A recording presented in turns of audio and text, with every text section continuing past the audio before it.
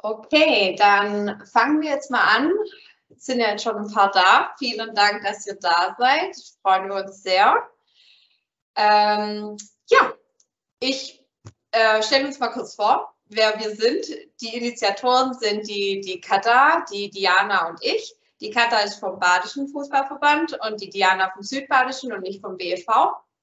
Und wenn ihr euch mit Kamera und Bild nicht zuschalten möchtet, dann könnt ihr den Chat benutzen, aber das erklärt dann euch die Diana gleich nochmal. Ich möchte jetzt erstmal ähm, ja, unsere Gäste vorstellen. Und zwar ähm, haben wir die Verena. Die Verena Schwerst ist 33 Jahre alt, ähm, ist ähm, ihre Fußballanfänge ähm, hat sie beim SC Kappel äh, getätigt äh, und war von 2001 bis 2006, soviel ich weiß, ähm, bei den U-Mannschaften des Südbadisch, der südbadischen Auswahl. Ähm, und ihre Profivereine, also ihre Station dann sozusagen in ihrer Profikarriere, ähm, hatte sie beim SC Freiburg, beim VfL Wolfsburg und beim FC Bayern. Äh, falls irgendwas falsch ist, Marina, grätsch gern dazwischen.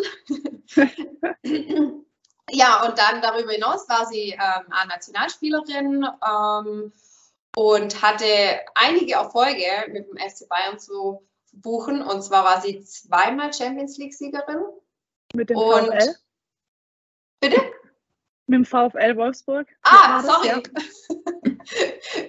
Dann so rum. Ähm, genau, und natürlich ähm, Meisterschaft und Pokalerfolge. Also da hat es einiges. Einiges. ähm, ja, mittlerweile bist du im Fußball-Ruhestand, ähm, studierst gerade noch nebenher und ähm, hast einen kleinen Sohn. Und ähm, ja, und bist auch regelmäßig als Fußballexpertin im Fernsehen zu sehen. Und ähm, du schreibst sogar auch noch äh, Kolumnen für Kicker, also dir wird nicht langweilig. Dann mache ich weiter mit Tabea.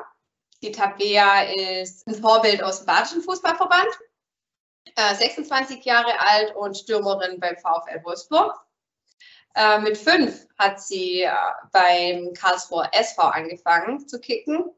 Danach ging es zu den B-Junioren der TSG Hoffenheim wo du dann auch schon deutsche U17-Meisterin wurdest. Ähm, sie durchlief alle Juniorinnen-Auswahlen beim BFV und trainiert bis zur C-Jugend ähm, bei den Jungs am DFB-Stützpunkt. Deine größten Erfolge waren Bundesliga-Aufstieg mit der TSG Hoffenheim, Deutsche Meisterschaft sowie Pokalsieg mit dem VfL Wolfsburg und letztes Jahr Vize-Europameisterin ähm, mit der A-Nationalmannschaft unsere zwei vom BFVs. Ah, da sind ah. sie. Hallo, ihr zwei. Hallo. Cool, also und jetzt als äh, die zwei letzten im Bunde äh, sind die, die Lara und die Leida Artigets, die ähm, Zwillinge vom WV, ähm, die bis zu 18 als äh, in der WV-Auswahl gespielt haben und beim FSV Weibling bei den U15 Jungs tätig waren, sind beide 18 Jahre alt und sind jetzt Stammspielerin der U19-Nationalmannschaft. Die, die Lara ist Abwehrspielerin und die, die leider spielt im Mittelfeld. Und seit 2021 seid ihr jetzt bei der Eintracht Frankfurt unter Vertrag und habt, habt letztes Jahr im Sommer in die erste Mannschaft geschafft. Glückwunsch dazu nochmal. Ähm, genau, also das sind unsere vier Gäste für diesen Abend. Und vielleicht noch ganz kurz zu unserer Kampagne Girls Kick It, ähm, wo ihr vier ja auch unsere, also unter unseren Vorbildern seid. Ähm, die Kampagne haben wir letztes Jahr, ähm, ja, nach der Fußball-EM sozusagen oder währenddessen ins Leben gerufen. Die Kampagne soll einfach den Mädchenfußball sichtbarer machen und wir wollen einfach dadurch die Reichweite nochmal steigern. Ähm, ja, den, den Frauenfußball bekannter machen, dass einfach noch mehr Mädchen den Weg zum Fußball finden. Und ja, da werden wir jetzt oder machen wir jetzt seitdem jeden Mittwoch bei Mädelsmittwoch ein Thema zum äh, Frauenfußball informieren, ähm, haben jetzt auch eine Vereinsmap ähm, erstellt, wo gerade Mädels, die vielleicht noch nicht kicken oder wieder anfangen wollen zu kicken, in ihrem Umfeld einen Verein finden, ähm, um da wieder zu spielen. Wenn ihr auch so Kampagnefragen habt, ähm, könnt ihr die dann auch gerne stellen, also wie ihr dann möchtet. Ähm, und dann gebe ich jetzt weiter an die Diana, die jetzt erklärt, wie ihr eure Fragen loswerdet. Genau, also von mir auch erstmal noch ein schönes Hallo. Und zwar, ähm, wir fangen am besten so an, wenn ihr eine Frage habt, nehmt ihr am besten das Handhebesymbol bei Teams, falls ihr euch da auskennt. Falls ihr euch nicht auskennt, könnt ihr die Fragen natürlich auch über den Chat schreiben. Ähm, die Kata, die wird da immer mal wieder durchscrollen und ähm, die Fragen dann für euch stellen. Natürlich wäre es aber für uns und auch für unsere Vorbilder natürlich schöner, wenn ihr die Kameras anmachen würdet und auch persönlich dann übers Mikrofon eure persönlichen Fragen dann auch selber stellt. Ist aber wie gesagt kein Muss, auch wenn ihr einfach zu schüchtern seid, um euch so zu melden, dann gerne auch einfach über den Chat.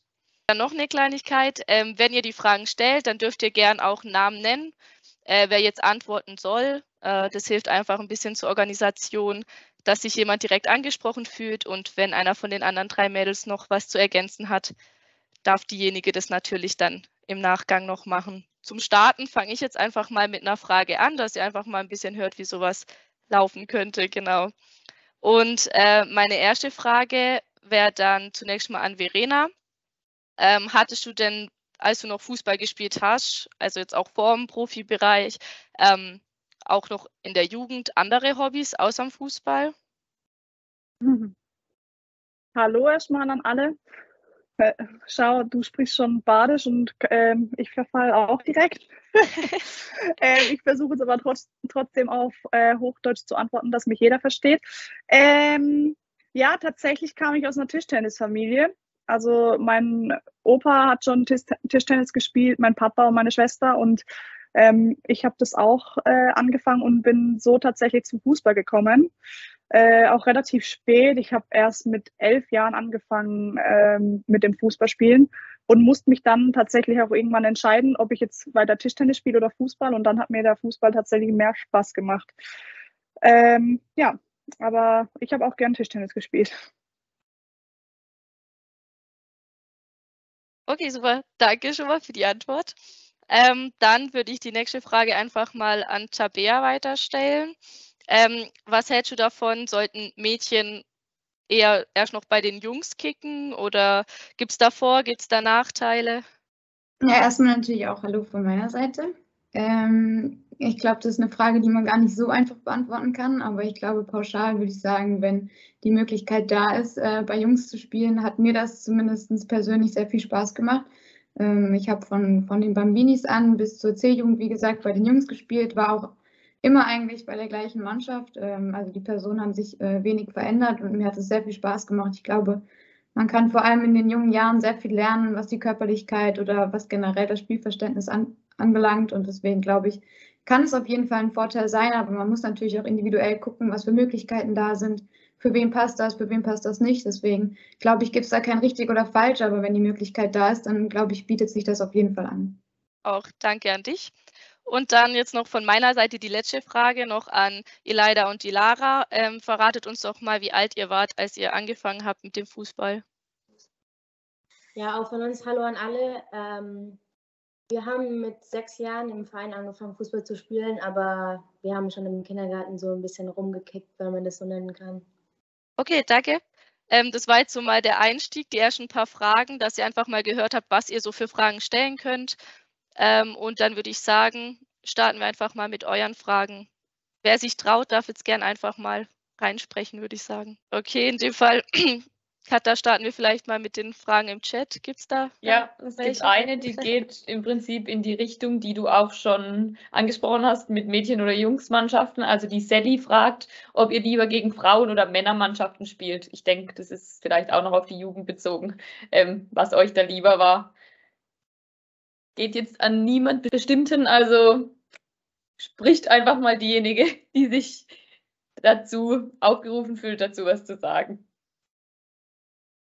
Ich kann dazu gerne was sagen. Also wir haben mit ähm, Hoffenheim öfter gegen Jungsmannschaften gespielt, gerade in der Vorbereitung im ähm, Sommer oder im Winter. Und ja, es war immer spannend, weil im Sommer waren die Jungs irgendwie zwei Kopfe kleiner als dann im Winter, weil die sich dann so schnell einen Wachstumsschub gemacht haben. Ähm, ja, es ist auf jeden Fall cool, es ist ein, ein gutes Mittel. ähm, weil einfach, ähm, ja, die haben eine ganz andere Voraussetzungen. Ab einem gewissen Alter ist es total schwer für uns, was die Schnelligkeit anbelangt, hinterherzukommen. Ähm, aber ich glaube, technisch und taktisch ähm, sind wir vielleicht manchmal auch einen Schritt voraus. Ähm, und deswegen ist es ein, ein, cooles Mittel, das auch in der Vorbereitung einzusetzen. Ich fand es auch immer cool, gegen Jungs zu spielen, weil man irgendwie nichts zu verlieren hatte und äh, weil die uns eigentlich immer so ein bisschen belächelt haben. Ah, Mädels und ja, eigentlich gehört ihr nicht auf den Fußballplatz, aber man hat dann schnell gemerkt, ähm, dass sie das dann irgendwann nicht mehr so gesehen haben. Und äh, ja, weil wir hart rangegangen sind. Und ich finde, gegen Jungs spielt man doch nochmal ein bisschen anders, äh, Tabi. Findest nicht? Also, oder auch äh, die Lara und Elida. Also, ich hatte immer noch mehr Motivation, gegen Jungs zu spielen. Ich weiß nicht, wahrscheinlich, weil ich Bock hatte, den Zweikampf zu gewinnen und denen auch zu zeigen, hey, ähm, wir können es auch. Das stimmt, man hat nochmal eine ganz andere Motivation, in die Zweikämpfe zu gehen. das stimmt. Ja, und ich habe es früher auch vermisst, weil ich habe ähm, tatsächlich nicht bei den Jungs angefangen zu spielen. Ich bin direkt in eine Mädchenmannschaft gegangen, ähm, weil ich gar nicht wusste, dass es das gab oder dass es die Möglichkeit gab, beziehungsweise weil es bei uns im Verein, Verein halt direkt die Möglichkeit gab, mit ähm, Mädels zu spielen. Also da gab es ganz viele Mädelsmannschaften und äh, demnach habe ich auch nur mit Mädels gespielt und ähm, ja, eher mit Jungs dann auf dem Bolzplatz gekickt.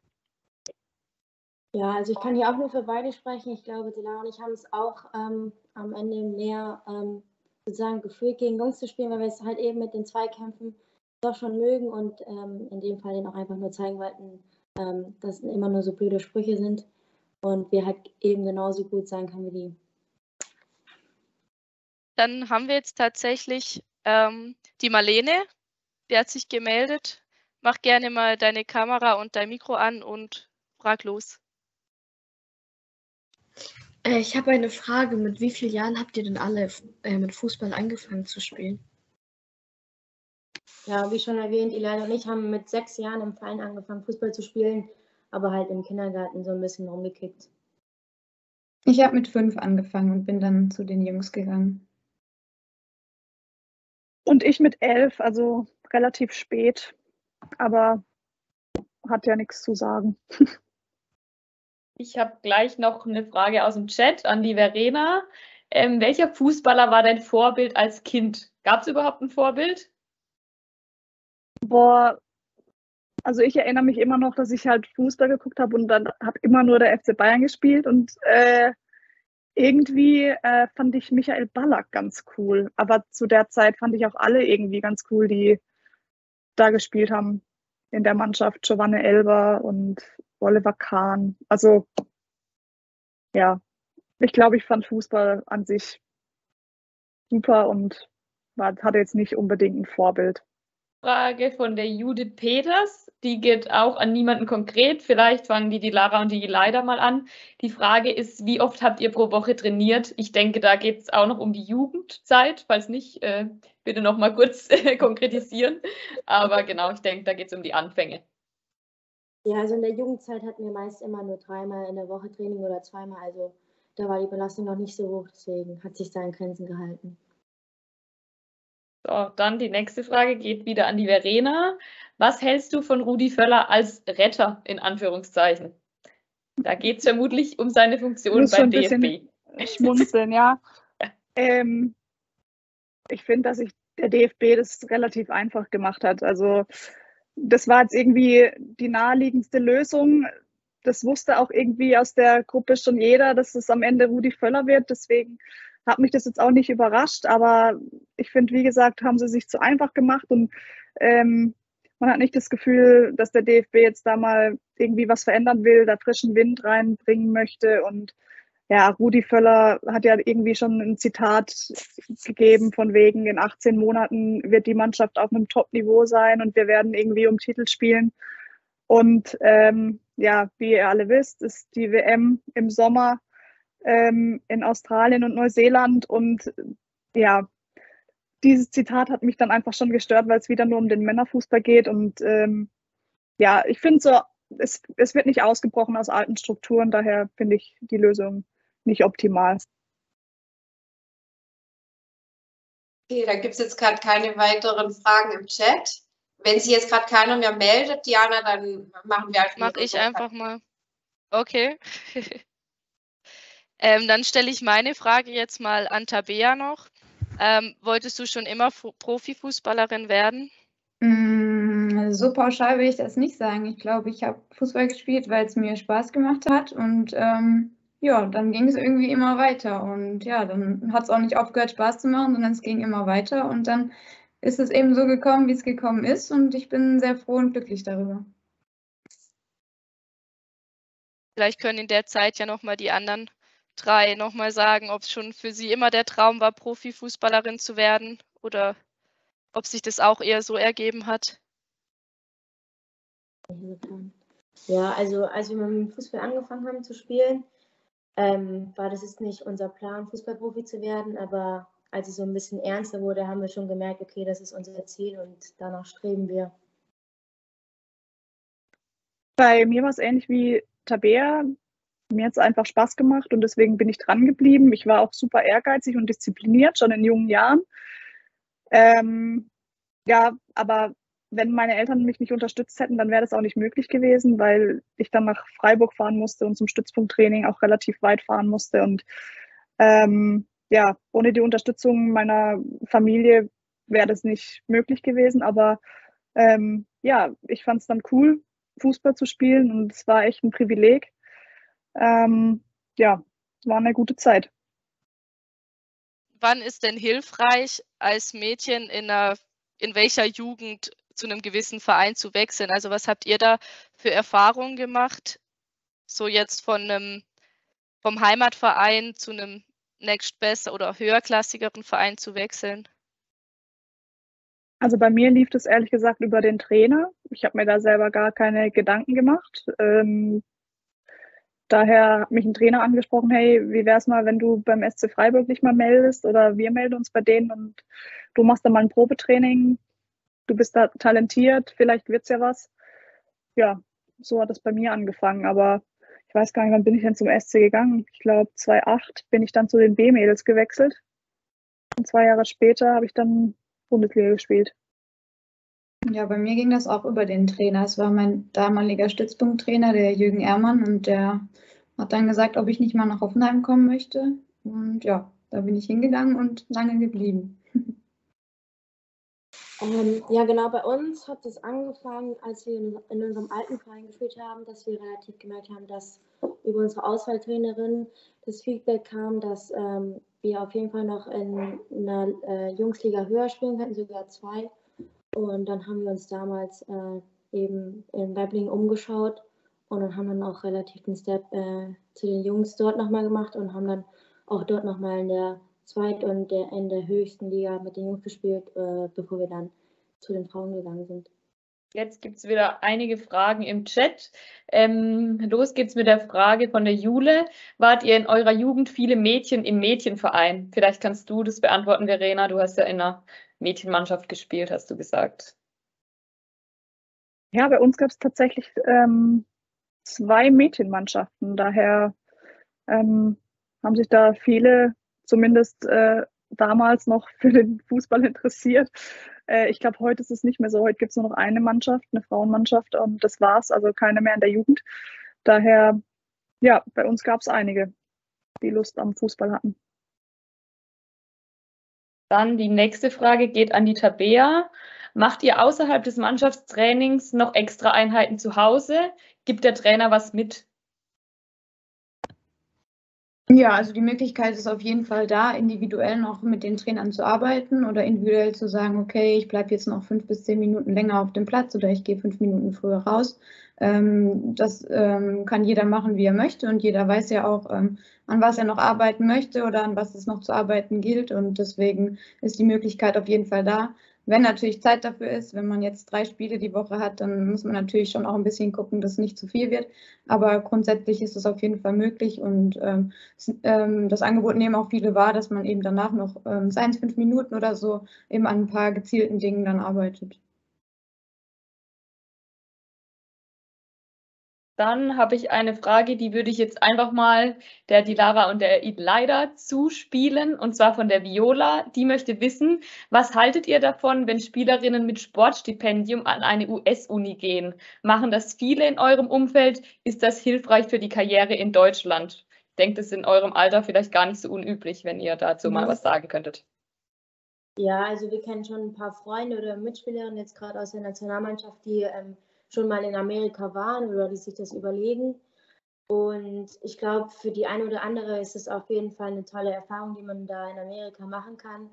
Zumal man einfach das Stipendium und den Fußball unter, unter einem Hut hat und weil der Fußball dort auch ganz anders ist und viel athletischer ist. Und ja, wenn man dann da sein Studium absolviert hat, dass man wieder nach Deutschland zurückkommen kann. Da haben wir auch ein paar in der Mannschaft, die das gemacht haben. Und ähm, wenn man die fragt, äh, wie es dort war, würden sie es auf jeden Fall vielen weiterempfehlen. Und es ist aber, glaube ich, auch eine Typsache, wie offen bin ich für was Neues oder wie gut kann ich damit umgehen, auf einem anderen Kontinent zu leben. Aber ich denke, das wäre schon mal eine Option, das mal zu machen. Oder für Spielerinnen, die sagen, okay, mir reicht es jetzt mal langsam hier in Deutschland, dass sie sagen, okay, ich brauche was Neues und äh, ich gehe nach Amerika. So, ich würde sagen, wir schieben mal die Handmeldungen zwischen rein, dass ich nicht hier nur aus dem Chat vorlese. Die Laila hat die Hand gehoben. Wenn du dein Mikro und deine Kamera anmachst, dann darfst du deine Frage selber stellen. Ähm, ich weiß ja nicht, ob man mich jetzt sieht, aber ich hätte eine Frage dazu, ähm, ob ihr vielleicht manchmal so Angst habt vor einem Spiel, also vor allem in der Nationalmannschaft. Keine Ahnung, dass ihr so einen Fehler macht und was weiß ich, irgendwie euch das so doof vorkommt, wisst ihr? Also ich glaube schon, dass man natürlich immer eine Grundnervosität hat vor gewissen Spielen. Ähm, aber sobald man dann auf dem Platz ähm, steht, kann ich nur für mich sprechen, dass dann sowieso alles irgendwie so ein bisschen ja, automatisch läuft, dass man ja dann auch ähm, ja, so in den Situationen drin ist, dass man gar nicht mehr so viel Zeit hat zum Nachdenken im besten Fall. Ähm, aber ich glaube schon, dass man die eine oder andere Nervosität immer, dass sie immer im Spiel ist. Und ja, dann geht man auf den Platz, spielt Fußball und dann läuft das meistens und hoffentlich. Dann hat sich noch Tessa und Marlene gemeldet. Ich habe eine Frage an Tabea. Ähm, hast du einen Hund? Und jetzt die du, Marlene? Und die Marlene hat noch eine Frage. Und zwar, welches war bisher dein wichtigstes Tor, das du geschossen hast? Auch an die Tabea. Na, erstmal habt ihr natürlich ganz schöne Trikots an, was ich da sehe. Die gefallen mir sehr gut. Und ja, ich habe einen Hund. Ich habe einen, Labrador, die Mila. Und das wichtigste Tor, ich glaube, das Tor, was auf jeden Fall mit sehr vielen Emotionen verbunden war, war letzte Saison, als wir gegen Chelsea in der Gruppenphase gespielt haben und ja, wir doch ähm, verhältnismäßig hoch gewinnen mussten und es dann ähm, noch geschafft haben. Und das war ähm, das 3-0 war es, glaube ich. Und Normal bin ich jetzt nicht so die Person, die so äh, zu ähm, ja, riesigen Torjubeln, ähm, ja, für riesige Torjubel bekannt ist, aber da waren dann doch sehr viele Emotionen im Spiel und ich glaube, das war schon ein sehr besonderes Spiel. Okay, vielen Dank. Gut, dann mache ich weiter mit einer Frage aus dem Chat an die Verena. Wie machst du das mit deinem Kind? Wie oft trainierst du in der Woche, seitdem du ein Kind hast?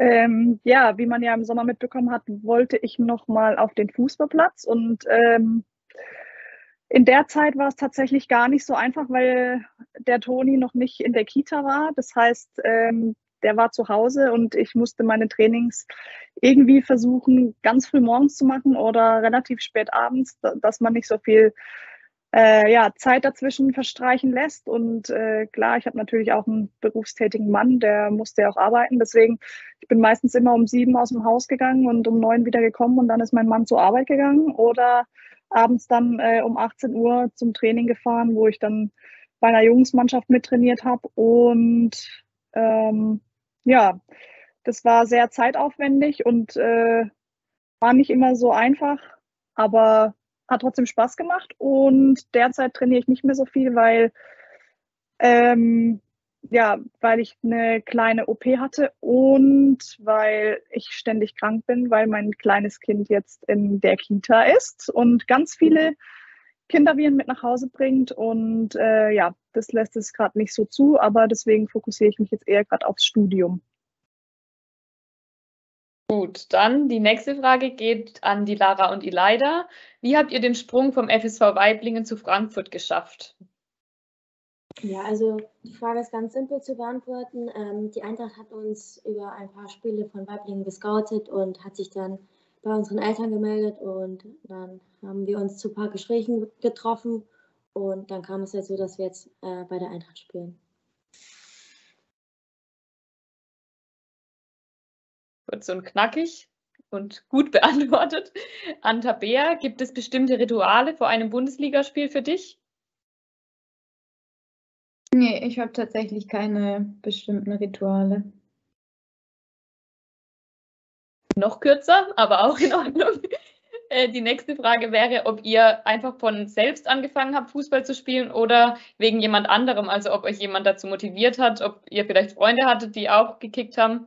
Ähm, Verena, wenn du anfangen möchtest. Bei mir kam es tatsächlich über den Tischtennisverein.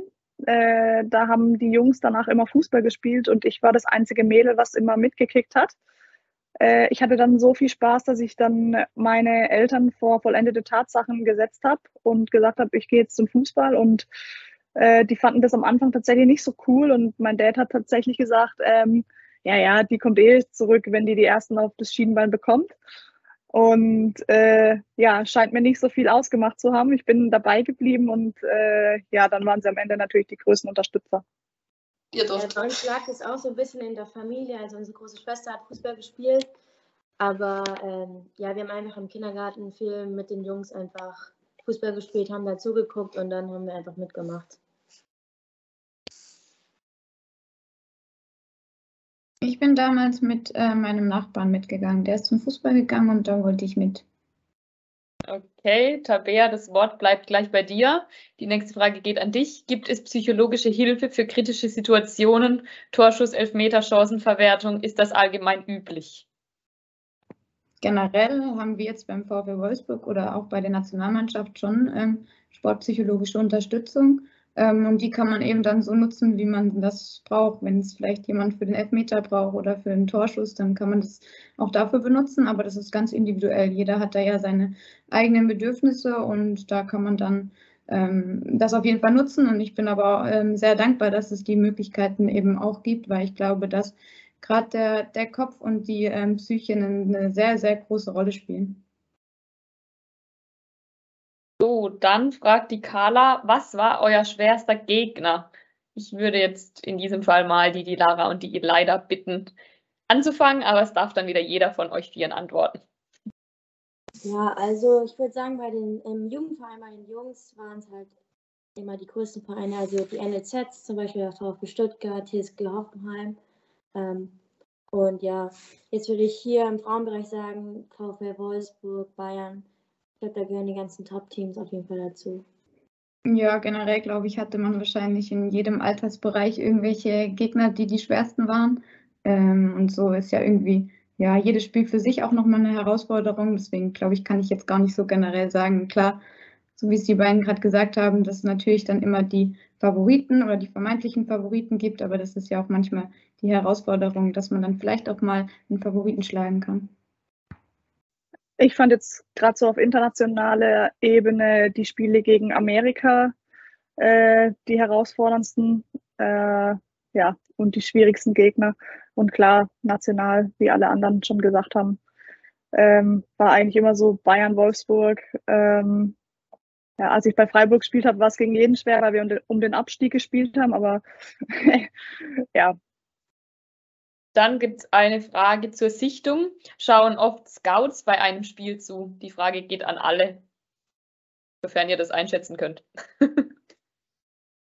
also ich glaube, mittlerweile ist es schon echt zur Normalität geworden, dass immer mal jemand bei wichtigen Spielen von auch U-Teams ähm, vorbeischaut. Ich, allerdings kennt man die dann nicht so wie bei den Männern. Äh, ja, aber war ja dann bei euch, Lara und Elida, auch so. Also gehe ich davon aus, dass es äh, in anderen Bundesländern auch so ist. Weil ganz viele, also das weiß ich, dass, dass auch ganz viele schon äh, unter Vertrag genommen werden ähm, bei verschiedenen Beratern. Also teilweise schon mit 15, 16. Daher müssen da Scouts irgendwo unterwegs sein. ihr die gesehen damals, als ihr gescoutet wurdet oder vielleicht auch schon früher, bevor ihr ähm, dann den Sprung geschafft habt? Nee, also grundsätzlich äh, haben wir da auch gar nicht drauf geachtet, aber man, man kennt die Scouts auch nicht, weil es sind meistens gar nicht Trainer von den Vereinen, die da zu gucken, sondern es sind extra Leute, die da im Verein angestellt sind und da haben wir jetzt nichts gesehen oder ist uns irgendwas aufgefallen. Okay, es gibt noch eine Frage an Verena. Wer war dein unangenehmster Gegner? Also die Vereine haben wir ja schon abgeklappert im Prinzip. Vielleicht hattest du eine Gegenspielerin, mit der du es immer zu tun bekommen hast, wenn wir es mal darauf münzen. Ähm, schwierig. Äh, ich hatte das Glück, dass ich immer relativ schnell war. Von dem her ähm, war es jetzt nicht so, dass alle an mir vorbeigezogen sind. Allerdings, ähm, wer war denn das? Äh, technisch versierte Spielerinnen. Wenn man denkt, als Abwehrspielerin hat man den Ball und dann macht man einen Schritt und dann wirst du getunnelt und ähm, ja, dann sind sie weg. Ich glaube, Caroline äh, Graham Hansen war das damals. Äh, gegen die fand ich es echt schwierig. Also ich habe erst mit ihr gespielt und davor gegen sie und das war immer ein bisschen, ja, war schon ein Fight. Aber sonst äh, fällt mir jetzt gerade niemand ein. Okay, dann gibt es noch die Frage, ob ihr schon mal ein Derby gespielt habt. Tabea, wenn du anfangen würdest. Mm, ja, mit Hoffenheim war das natürlich immer gegen Freiburg. Ähm, da haben wir immer ein Derby gehabt. Jetzt mit Wolfsburg gibt es jetzt ein Lokalderby, jetzt nicht wirklich. Seitdem Verena, ich weiß nicht, du hast, glaube ich, länger als ich in Wolfsburg gespielt. Ähm, seitdem man sagt jetzt irgendwie in der Liga, dann wäre es wahrscheinlich Wolfsburg gegen Bayern aktuell. Ähm, aber genau deswegen, das, was eigentlich immer so in Hoffenheim in Erinnerung geblieben ist, war gegen Freiburg. Wir haben immer gewonnen, oder? Kommt drauf an. Ich erinnere mich, ich, äh, ja, ich weiß, wir haben eine herbe Halbfinalniederlage im Pokal hinnehmen müssen. Es war, da waren wir mit Hoffenheim das erste Mal im Pokal-Halbfinale und waren, glaube ich, alle ein bisschen überfordert mit der Situation. Und dann hat Freiburg gewonnen und war das erste Mal im Pokalfinale. Aber ich glaube, da warst du nicht mehr in Freiburg. Ja, glaube auch. Okay, dann die nächste Frage ist, wie eure Beziehung zu den männlichen Fußballern in eurem Verein ist. Ist das ein Nebeneinander oder ein Miteinander? Gucken die auch mal bei euch zu?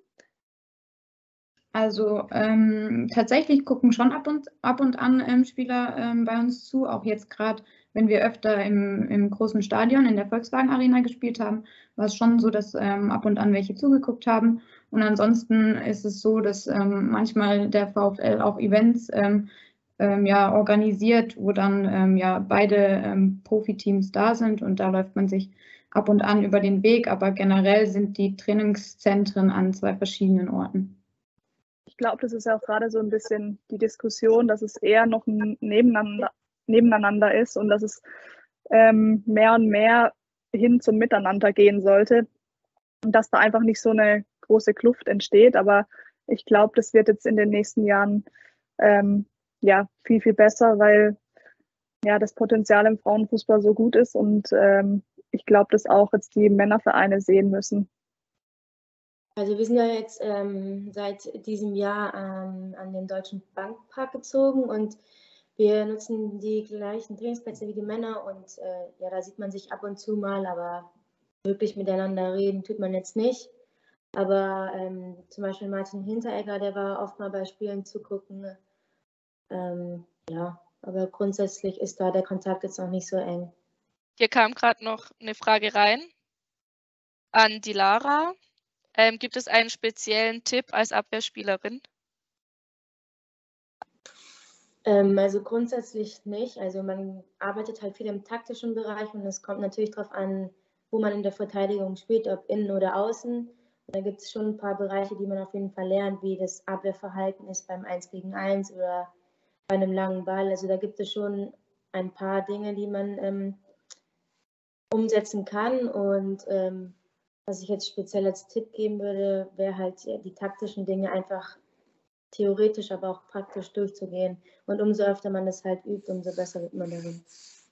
Daran anschließend vielleicht gleich die nächste Frage. Ähm, auf den Trainer oder eure Trainer bezogen. Welchem Trainer in eurer gesamten Karriere seid ihr besonders dankbar und warum? Oder anders gefragt, was können die TrainerInnen hier im Chat gut machen in ihrem Job? Verena, möchtest du anfangen, bitte? Ich finde, die Trainerposition ist natürlich auch eine, eine ganz, ganz wichtige Rolle. Und äh, wenn ich jetzt so an meine Karriere zurückdenke, dann hatte ich schon ähm, viele Förderer, ähm, die mich da unterstützt haben auf meinem Weg. Jetzt sei es beim SC Freiburg, war es Alex Fischinger, beim VfL Wolfsburg war es äh, Ralf Kellermann ähm, und beim FC Bayern war es Tom Wörle. Und natürlich ist der Trainer ähm, der, der am Ende die beste Elf aufstellt. Und als Fußballerin will man natürlich spielen und unter den ersten elf sein. Und ähm, ja, manchmal ist es aber auch super schwierig für einen Trainer, weil er halt 22 gute Spielerinnen hat. Und dann ist es, glaube ich, als Trainer ganz, ganz wichtig, ähm, wenn man auf der kommunikativen Ebene gut ist. Ich glaube, das ist das A und O, dass ähm, man alle irgendwie mitnimmt in ein Boot ähm, und gar nicht so die elf Spielerinnen, die auf dem Platz stehen, weil die sind selbstbewusst und wissen, wo sie stehen, sondern eher die, die auf der Bank sitzen, weil ähm, die den schwierigsten Job haben, aber genauso wichtig für, für ein Team sind. Und ich glaube, da ähm, sollten die Trainer vermehrt ansetzen. Aber klar, ein Trainer sollte natürlich auch im technischen, taktischen Bereich gut sein. Aber ja, jetzt können die anderen mal noch sagen.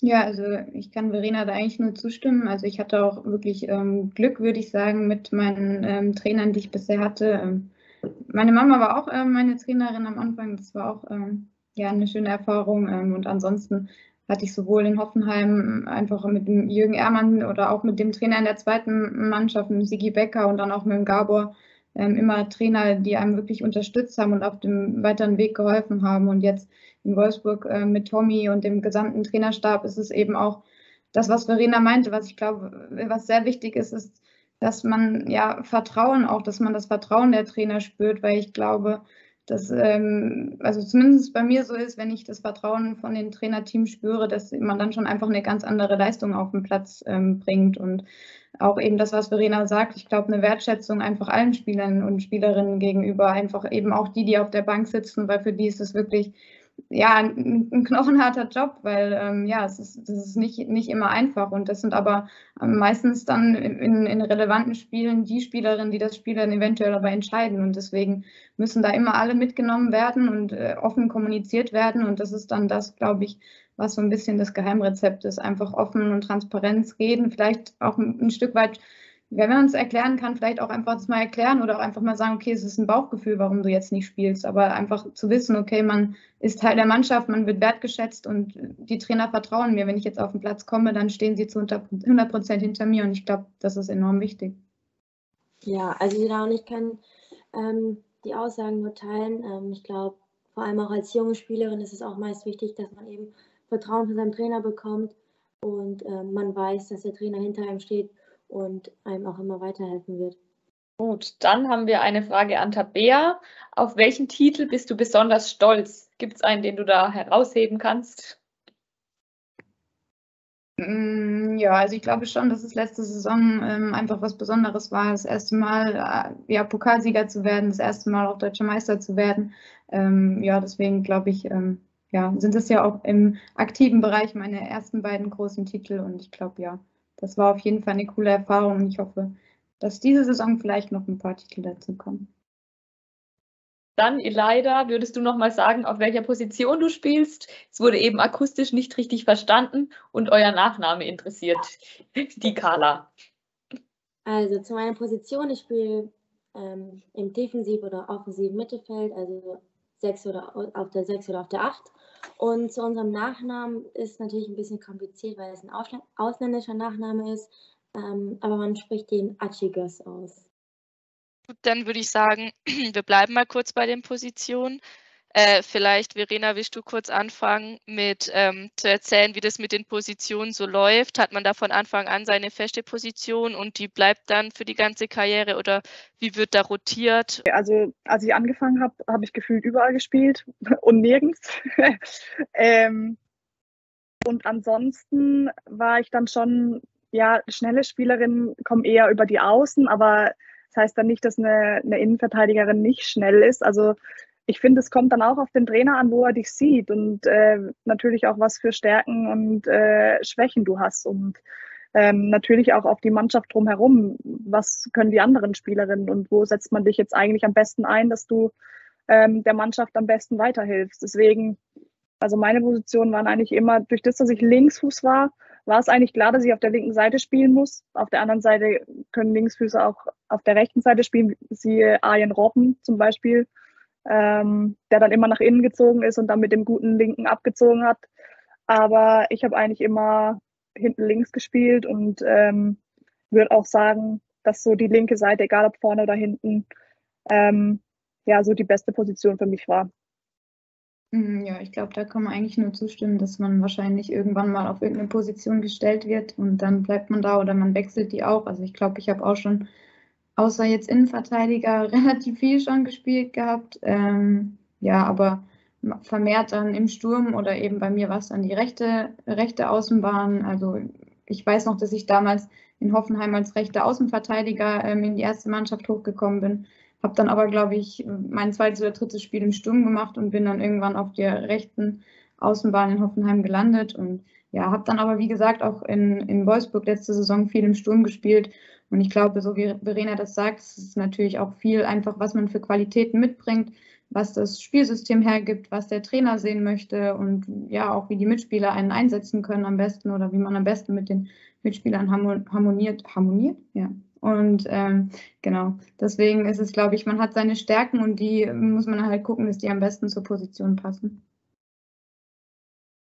Okay, danke euch. Ähm, dann vielleicht mal eher noch mal ins Jugendalter zurück. Wie war das mit äh, verschiedenen Auswahllehrgängen und der Schule und hatte man da auch noch Zeit für andere Hobbys wie Freunde oder Instrumenten lernen oder sowas in der Art? Ja, genau. ja, also wir gehen ja jetzt noch aktiv in die Schule und das ist natürlich eine große Last, die man auf sich nimmt und das ist nicht immer ganz einfach, aber dadurch, dadurch, dass wir auf einer Eliteschule des Fußballs sind, werden wir da auch äh, gut unterstützt, auch mit dem Training und mit den Freistellungen fürs Training.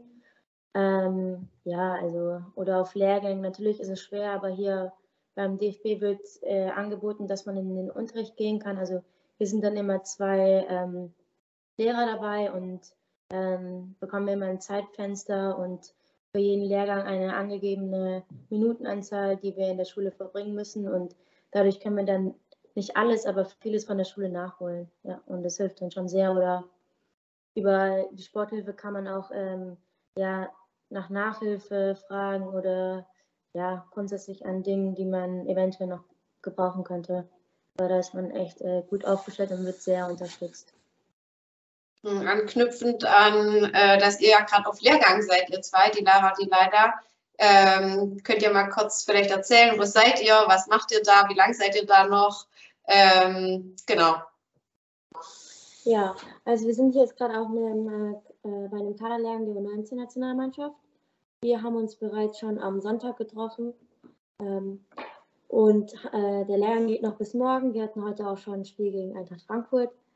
Ähm, ja, der Lehrgang hier dient jetzt dazu da, dass wir äh, die neue Mannschaft in dem Jahrgang 0405 bilden und dementsprechend die EM-Qualifikation schaffen, um dann eben bei der EM teilzunehmen und uns dort dann für die WM, U20 WM zu qualifizieren. Ich habe die nächste Frage aus dem Chat. An die Tabea, habt ihr ein persönliches Ernährungsprogramm? Ist das auf jeden abgestimmt? Nee, also wir haben kein ähm, Ernährungsprogramm. Ich glaube, dass wenn jetzt jemand ähm, ja, Bedarf hätte und ähm, ja irgendwie ähm, Empfehlungen möchte oder Ratschläge möchte, dann ähm, sind auf jeden Fall kompetente Leute in Wolfsburg vorhanden oder auch bei der Nationalmannschaft, die einem da auf jeden Fall helfen oder Ratschläge gibt.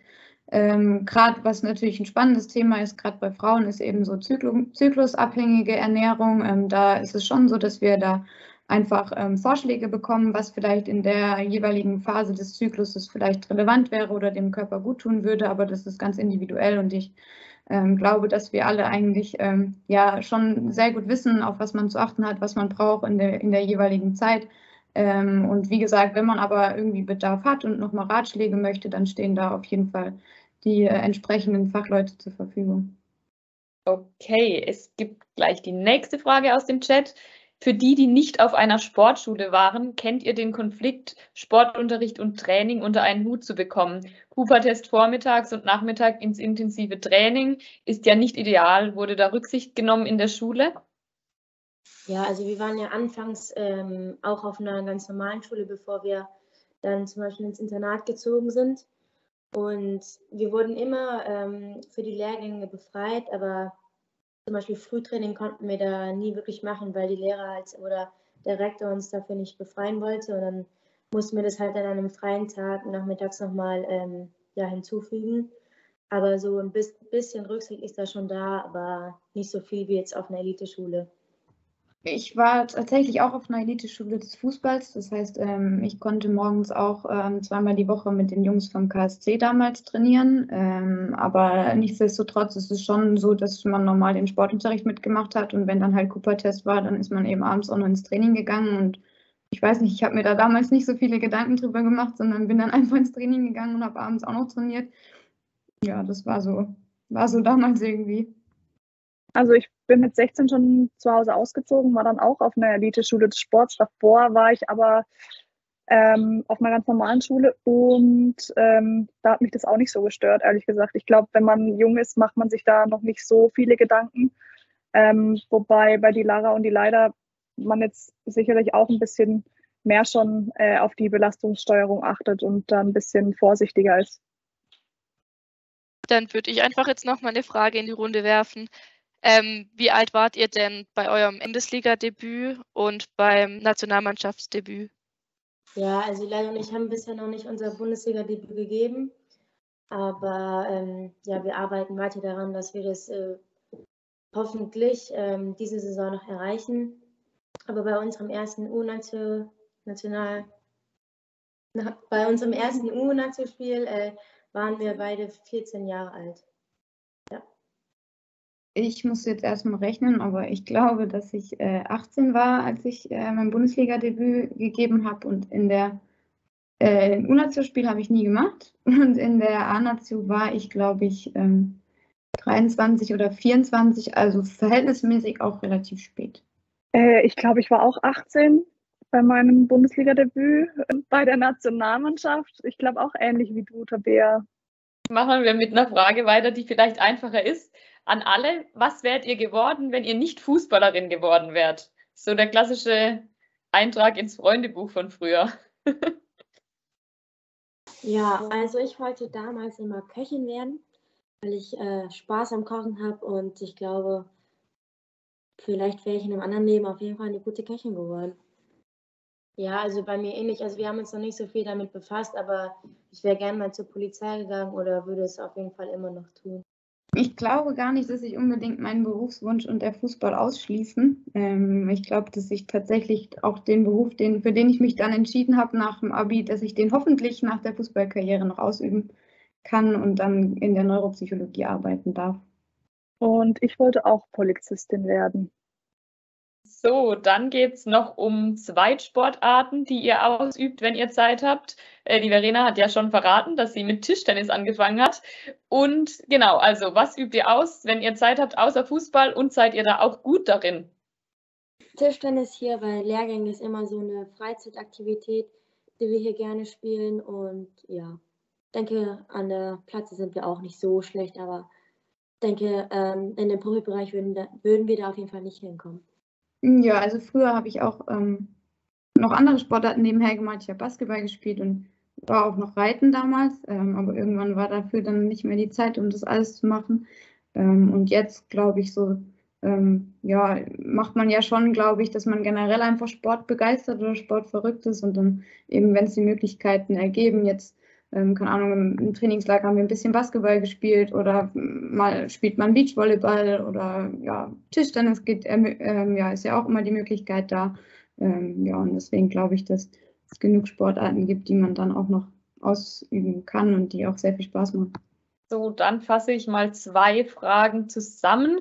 Und zwar ist die eine Frage, ob ihr gut Geld verdient mit eurem Job und ob ihr euch ungerecht behandelt fühlt gegenüber der Männerfußballwelt. Ich denke, das geht ein bisschen Hand in Hand, ähm, was die Bezahlung angeht und vielleicht auch die Aufmerksamkeit. Also ich glaube, dass ähm, ja, das natürlich ein sehr weitreichendes und sehr spannendes Thema ist. Ähm, ich glaube generell, was die Bedingungen im Frauenfußball anbelangt, glaube ich, können wir uns ähm, gerade jetzt, würde ich sagen, bei den oberen 1 bis 4 oder 5 äh, jetzt nicht beschweren. Ich glaube, in Wolfsburg und Bayern verdient man schon gutes Geld. Ähm, genauso ist es auch, glaube ich, in Frankfurt. Da könnt ihr mich gerne ähm, korrigieren oder in Hoffenheim. Aber ich glaube, dass es eben auch ähm, sehr um die Breite in der Liga geht, dass einfach ähm, alle die gleichen Möglichkeiten haben, dass alle Vereine, ähm, ja, dass alle Vereine konkurrenzfähig sind. Und ich glaube, dass da immer noch teilweise ähm, Dinge passieren, die sich, glaube ich, in einem Männerverein keiner vorstellen kann. Und ich glaube, das sind Dinge, die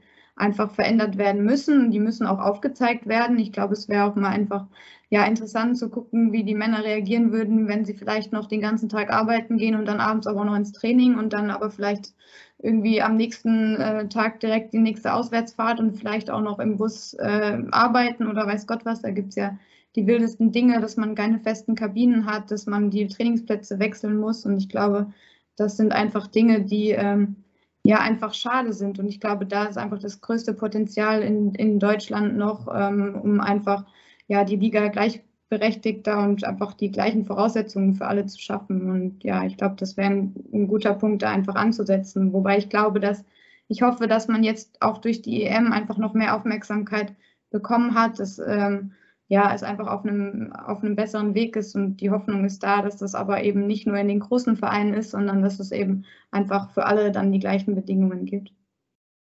Ich glaube, da braucht, oder Verena, möchtest du noch was dazu sagen? Ich dachte, das nee, war schon relativ gut, gut ausgeführt, ja, oder? Ja. Ich wollte es gerade sagen. Ich hätte jetzt gar nichts mehr dazu gesagt. Dann wechseln wir nochmal die Sportart. Die Frage von Thomas ist, ob ihr gleich Handball schaut und was euer Tipp ist. Also ich schaue Handball ähm, mein Tipp, gute Frage. Ich hoffe, Deutschland gewinnt.